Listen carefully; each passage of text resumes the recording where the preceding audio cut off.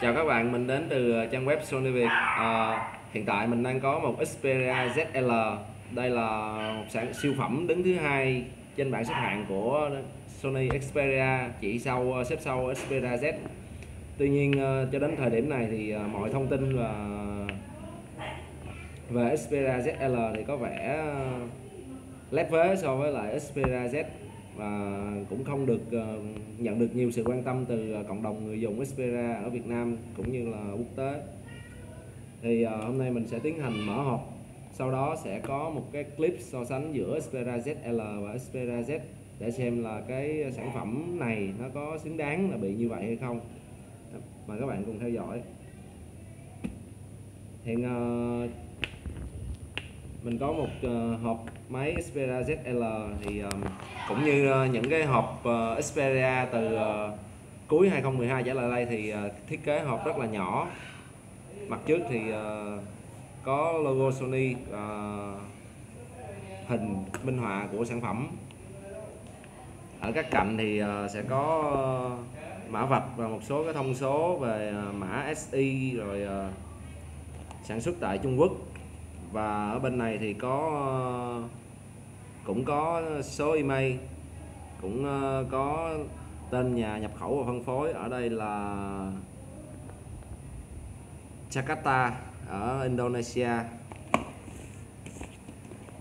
Ở mặt sau của hộp thì chúng ta sẽ có rất là nhiều thông tin về ờ, sản phẩm. Đó là sử dụng cảm biến Xmore RX mới nhất trên dành cho điện thoại à, dùng công nghệ Raga Engine 2 có chứng chỉ PlayStation có khả năng ờ, quay phim Full HD và có NFC Wi-Fi chạy hệ điều hành Android có camera 13 chấm có uh, quay phim HDR và có kích thước màn hình là 5 inch tương đương với 12,7 cm và sử dụng chip Snapdragon S4 Pro với xung nhịp là một ghi rưỡi lõi tứ.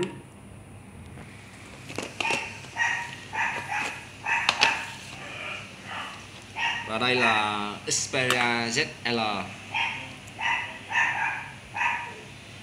về thiết kế thì ờ, Xperia ZL rất là nhỏ gọn. Có thể nói là chỉ ngang ngửa với lại Xperia Ion ở đầu năm 2012 tuy là có cùng cấu hình và cùng ờ, kích thước màn hình, nhưng mà Xperia ZL thì lại có cái ờ, kích thước nhỏ hơn Xperia Z rất là nhiều.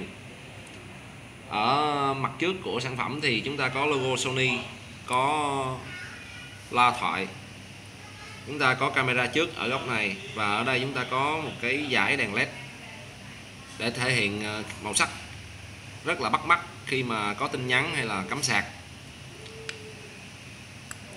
ở cạnh trái của sản phẩm thì chỉ có ờ, lỗ cắm micro USB có ờ, lỗ cắm móc khóa.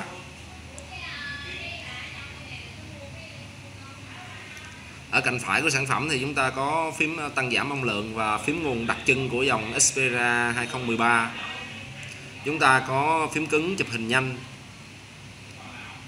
Cũng như Xperia Z Xperia ZL thì uh, bốn cạnh của máy đều được làm bằng kính. Và theo thông tin mình có là kính chịu lực Gorilla Glass 2 ở cạnh trên của sản phẩm thì chúng ta có dắt cắm tai nghe 3.5 mặt sau sản phẩm thì chúng ta có ờ, một cái ờ, mic dùng để ờ, quay phim, ghi âm khi quay phim. Có camera.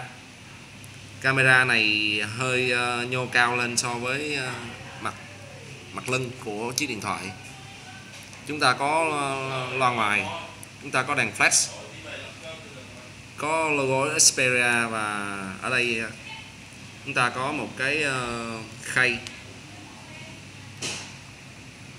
Tháo cái khay này ra, các bạn có thể bỏ sim vào đây và thẻ nhớ ở bên này.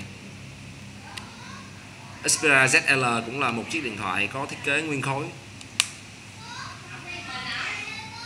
Về thiết kế của chiếc Xperia ZL thì um, mặt trước. Có rất nhiều điểm tương đồng với Xperia Z ngoại trừ kích thước nhỏ hơn và các cạnh cũng vậy. Có rất nhiều điểm tương đồng với Xperia Z tuy nhiên Xperia ZL có một lợi thế là có thêm một phím cứng để chụp hình nhanh. Còn về mặt sau của Xperia ZL thì uh, làm bằng nhựa nhám. Có các cái vân làm cho cái cảm giác cầm nắm nó rất là thoải mái và không bị chân tuột, cũng không bị bám dấu vân tay như là Xperia Z. Ở đây chúng ta có các cái góc bo tròn khiến cho cái việc cầm nắm lâu nó không có bị cấn vào à, lòng bàn tay, rất là dễ chịu. Có thể nói là với một cái kích thước nhỏ gọn vừa phải thì Xperia ZL cầm rất là nhỏ gọn ở trên tay và cho, tạo cho người cầm có cái cảm giác thoải mái. Xperia ZL có cái độ dày là 9,8 mm tức là dày hơn ờ, Xperia Z là 2 mm. Khi chúng ta xem hình ở trên mạng thì chúng ta thấy nó có vẻ hơi bị thô và cục mịch nhưng mà khi mình cầm trên tay thì cái cảm giác đó hoàn toàn biến mất không còn nữa. Mà ngược lại nó là một cái thiết kế rất là khoa học và cũng rất là mạnh mẽ và cá tính. Trên tay mình hiện cũng đang có một chiếc ờ, Xperia Z hàng à, chính hãng công ty. Các bạn có thể thấy về cái uh, chiều dài của Xperia Z là hơn so với Xperia ZL là khá vượt trội.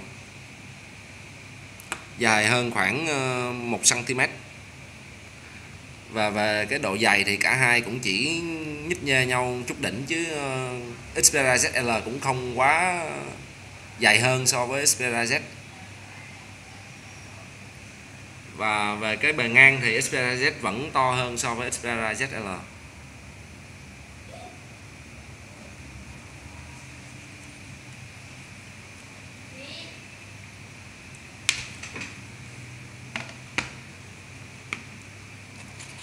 phụ kiện đi ờ, theo hộp của Xperia ZL thì gồm có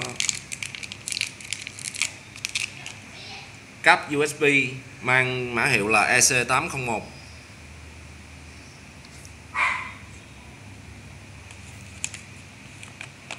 có ờ,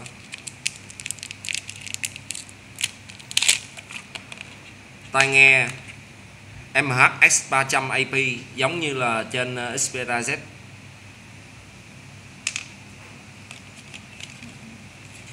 À, chúng ta có ờ, sạc EP880 hai chấu dành cho thị trường châu Á. Tất cả phụ kiện của Xperia ZL đều giống y như Xperia Z không có điểm gì khác biệt.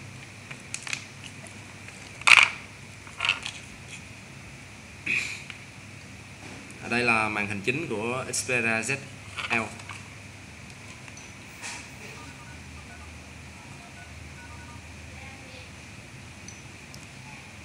Sản phẩm có tên mã là C6502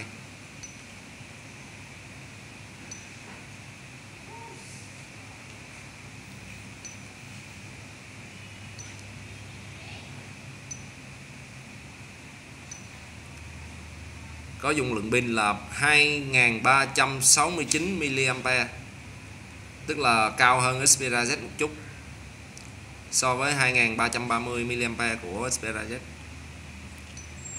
Xin cảm ơn các bạn.